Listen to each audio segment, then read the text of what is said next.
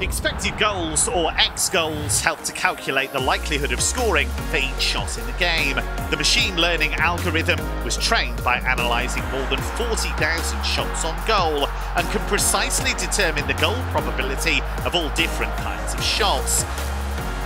The calculation considers the distance and angle to the goal, pressure from opposition defenders, and the goalkeeper's position.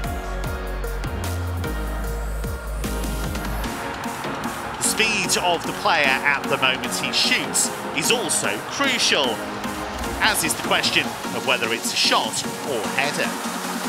A special case and example alike, the penalty kick. Here the goal probability is 77%. Each case is unique, but expected goals allows every chance to be objectively evaluated.